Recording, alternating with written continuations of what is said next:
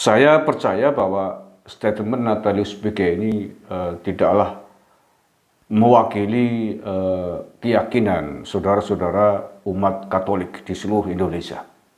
Tetapi saya yakin bahwa ini adalah murni pendapat dia pribadi, mewakili kepalanya pribadi Natalius Pigai.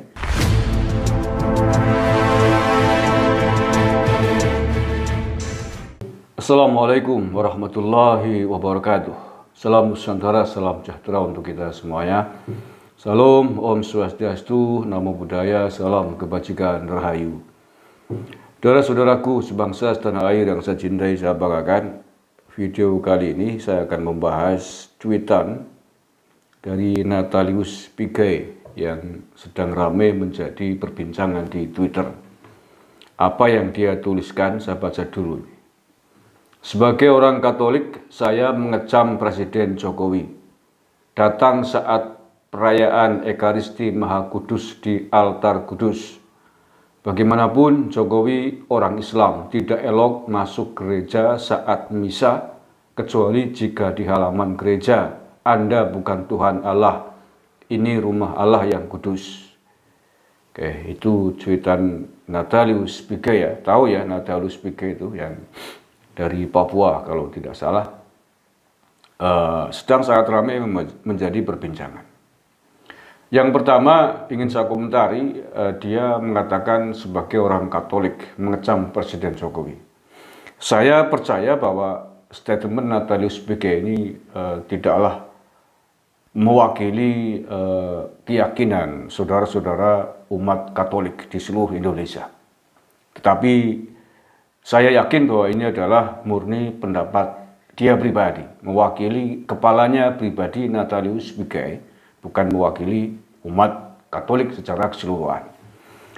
Faktanya apa? Buktinya apa? Bahwa kedatangan Presiden Jokowi, eh, dia di dalam gereja yang ada di video itu disambut ramai meriah oleh para tokoh-tokoh gereja, juga para jamaatnya. Artinya apa? Kalau seandainya mereka dan beliau-beliau di gereja ini berpandangan, berpikiran sama seperti Natalius Pigai, mestinya tidak mungkin akan menyambut dengan gembira, dengan meriah, dengan senang hati, sukacita seperti yang di kita lihat ada di video itu. Satu ya.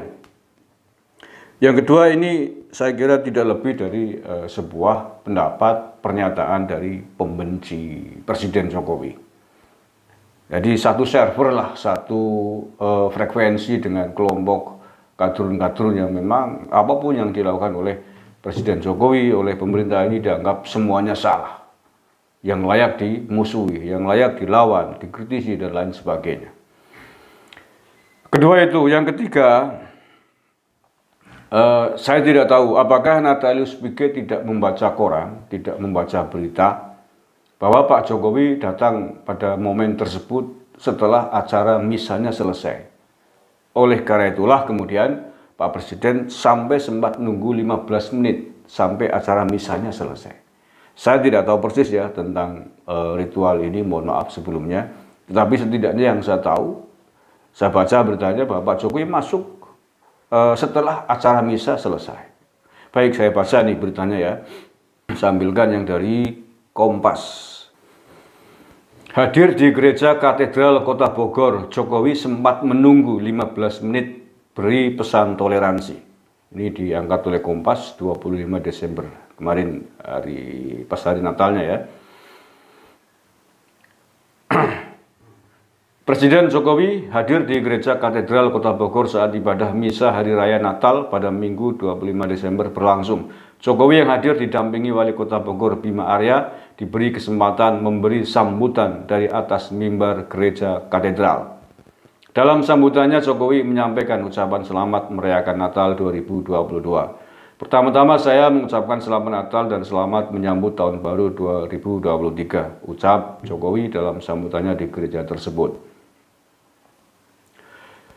Jokowi kemudian menyampaikan pesan perihal mempererat tali silaturahmi demi memperkuat toleransi antar umat beragama. Jokowi juga bicara soal menjaga lingkungan untuk kebangkitan negara kesatuan Republik Indonesia Jaya.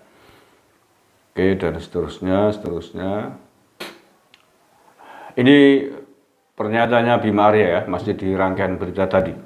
Bima mengaku sempat berbincang dengan Presiden Jokowi sesaat sebelum menyampaikan sambutan.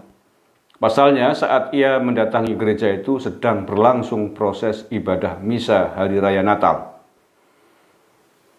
Jokowi bahkan sempat meminta untuk menunggu saja di luar gereja. Jokowi tidak enak jika nantinya malah mengganggu jemaat yang sedang ibadah.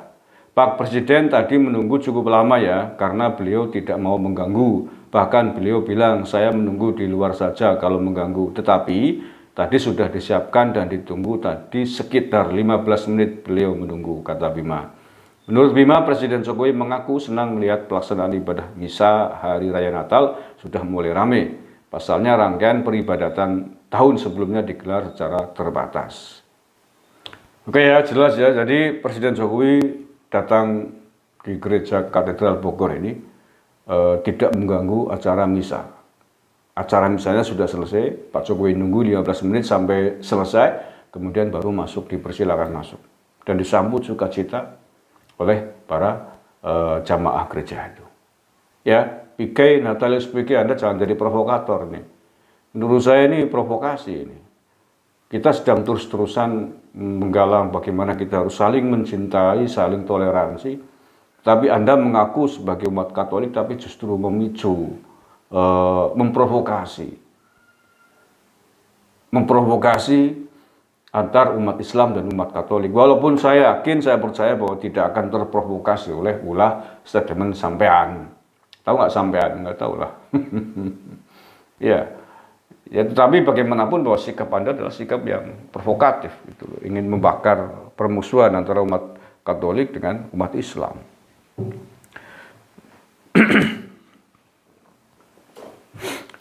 Kemudian berikutnya Pak Jokowi itu presiden yang memang punya kewajiban untuk e, melindungi seluruh umat beragama, menyambangi seluruh umat beragama pada momen-momen e, hari raya atau ritual-ritual besar yang di apa yang dimiliki oleh setiap umat beragama. Jadi bukan bukan orang sembarangan, itu kewajiban presiden untuk bagaimana merekatkan rasa toleransi beragama. Ya kecuali Pak Jokowi masuk di proses misa tiba-tiba tanpa babi bu mengganggu lah itu baru ada bisa berkomentar seperti itu. Tapi kita kan udah lihat beritanya. Pernyataannya Pak Wali Kota juga begitu.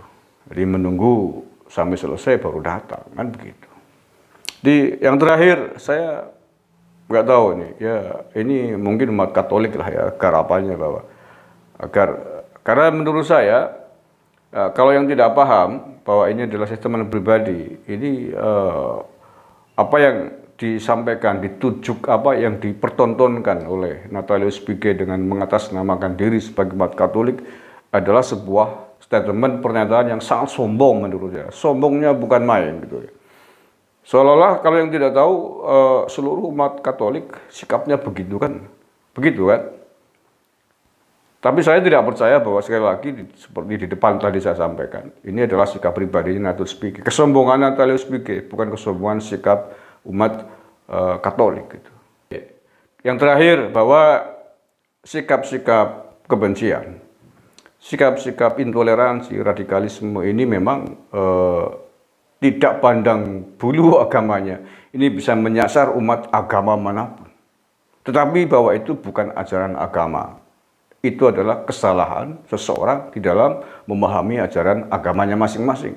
Kalau yang kebetulan umat Islam, kelompok radikalis dari kelompok ini adalah kesalahan kelompok ini oknum umat Islam yang salah di dalam memahami ajaran agamanya. Begitu juga umat lain, agama mana pun.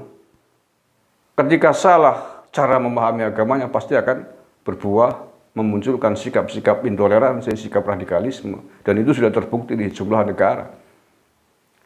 Caranya seperti apa ya? Mari kita ikuti tuntunan dari tokoh-tokoh agama kita yang sudah teruji, eh, teruji sikapnya, teruji keilmuannya, bukan hanya ngaku-ngaku kan begitu.